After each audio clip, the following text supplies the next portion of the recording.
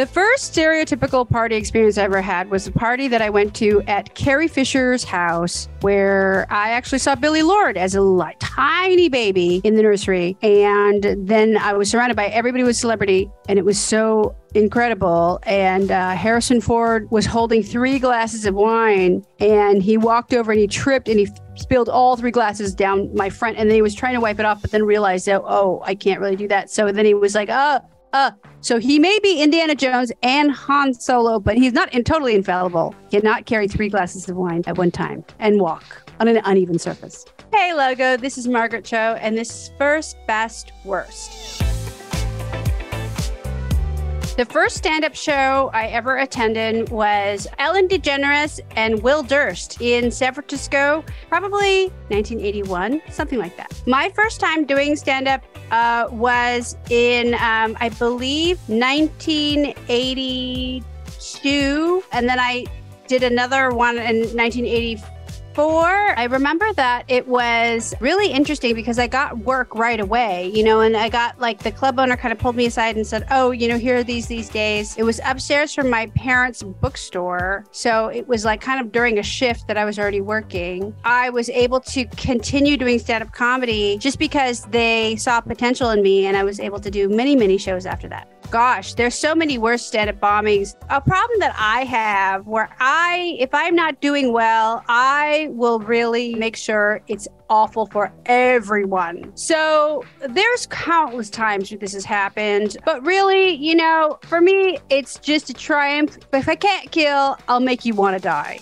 That's basically my motto. There was one that was so badly done that was my fault. That was in Scotland. That was so bad that um, after the show, my friends Amanda Palmer and Neil Gaiman, who were also there, rented me a horse and carriage. They actually got a horse and carriage to take me home. They sat on either side so I wouldn't jump out of the horse and carriage. And uh, bundled me through the sleet. It was almost like a, a, Grimm's fairy tale. It was giving Grimm's. It was giving really the scary original fairy tales. Bombing is really important as a stand-up comedian because you need to know your parameters. It kind of keeps you in the borders of what is the art form. Because if you uh, don't have the capacity to bomb, then you don't know how far out you can get. So I think it's actually important. And often the very best comedians bomb continually and constantly because we're always reaching for the stars. The first comedian I ever looked up to was Joan Rivers. She was great. She was a pioneer. She was my mentor and my friend.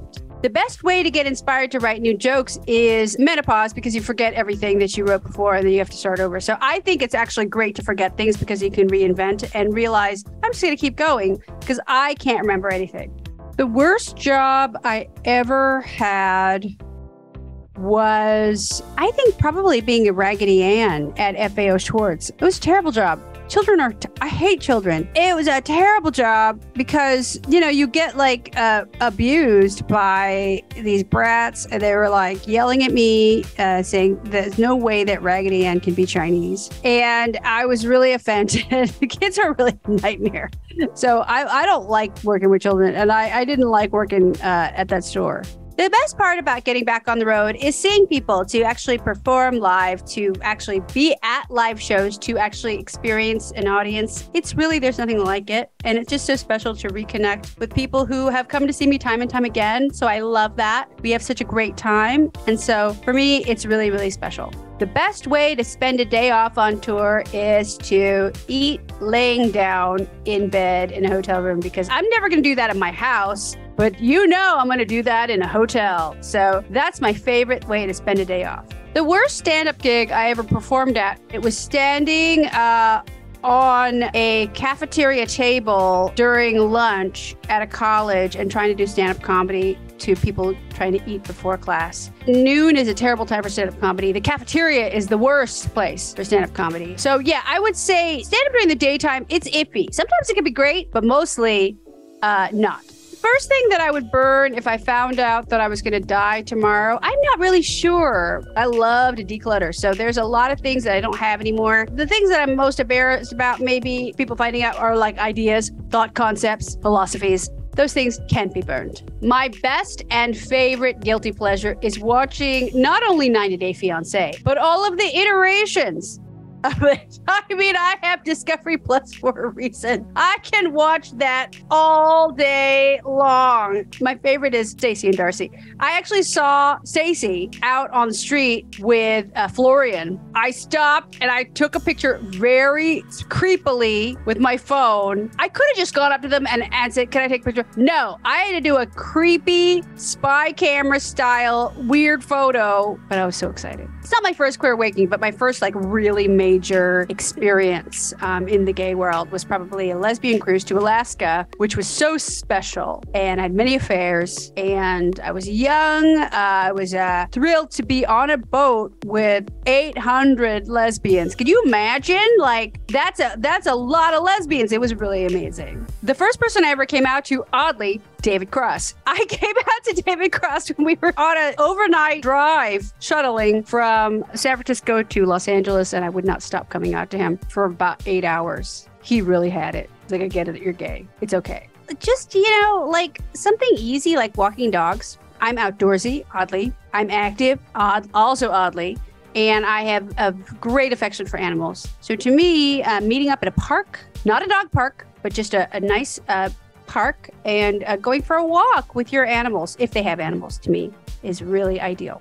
My first date with a woman was also named Margaret, oddly. We went to the Cafe San Marcos. It was like the big lesbian bar in the 80s and, and 90s in San Francisco. And um, I can't remember really how that turned out. But she was she was very femme and uh, oddly named Margaret also. The worst date I've ever been on was not the fault of the person I was on a date with, but it uh, culminated in us being at a immersive theater experience where um, people were spinning around us with their hair braided together. So it's two people, one braid, sharing a braid. So they were like tied by their hair together, spinning. And then um, there was an MC at the show, and, and he said, Bring me a fat woman. I need a fat woman now. So they grabbed me and brought me to the front of the sort of center of the stage. It was immersive and I had my period and it started to go, gush down my legs because I was so stressed. I was wearing shorts. I was so stressed out that I tapped out of the date and I went home. The first time using a dating app, I uh, was spoiled for choice. I mean, because I am attracted to lots of different types of people male, female, non binary, gender fluid, trans. So there, there's a lot of boxes to check. I found that being on dating apps is quite like a job because I'm going on so many dates. It's really exhausting. I c- categorize myself now as asexual polyamorous. There's an app for that. I'm really pleased about it. The worst quality that I'm attracted to is probably know it all people who know everything because I think they know everything, but they really don't. People that claim to know everything don't know anything. But I do admire somebody who seemingly knows things. So I find that I'm easily swayed by people's faux intelligence. I think when you're dating women, there's a sense of power in womanhood. You really feel so incredibly free. There's true magic in womanhood, and that extends to anybody who wants to identify as female. That that power is palpable. Then there's sort of like with heteronormative relationship, there's a kind of socially acceptable quotient that that is imitated in film and there's a validation there that's hard to beat. So it's hard to say which is better, but the advantage of being with female identifying people is feminism is real and the, the woman power is uh, enormous. The worst way to break up with someone is to ghost I think ghosting is a little bit, it's a little immature. I actually love a text breakup. I think that's great. You know, why not? I have Lucia, who's my beautiful dog, Lucia Caterina, and I have my deaf cat, Sakako Saudade. Then I have Sarang John Child, my other cat, and then my other, other cat, uh, Uju. They're all beautiful animals. I love them all for specific reasons. If I were to pick a favorite, it's Sarang. Sarang is the heartbeat of the house. She is the best in every way. She's the my favorite, my love. She's the cat of my dreams, except uh, for a few seconds every day when I have to put eardrops in her ears. I have to do that twice a day, and she is a nightmare. I actually have to put on like protective gear to do it, but the other rest of the time, she's so great. The worst fashion or beauty trend I have fallen victim to is probably microblading, only because I like the way that it looked, but the way that it faded was weird. And now my eyebrows are kind of orange, which um, made it really difficult to actually do the blonde eyebrow trend, which I kind of like. So I think, uh, yeah, any kind of permanent makeup, it's questionable just because I uh, don't always make the right choices. The best thing about getting older is that it's a lot of fun and that it's really like you are uh, so invested in life, but also not in the way that you were when you were younger. So there's less insecurity, there's less fear overall. You know, we uh, always just get to enjoy life now, which I think is really special. So getting older is great. The worst piece of advice I've ever received was uh, when taking a photograph, open your eyes. I, I they're as open as they're going to get. I'm um, Asian. The best accomplishment of my career is that I have inspired an entire generation of young Asian American queer comedians to pursue their dreams. So that includes Joel Kim Booster and Bowen Yang, and uh, all of these amazing, talented people are are there and doing it. And really, um, that's my greatest achievement is to inspire them.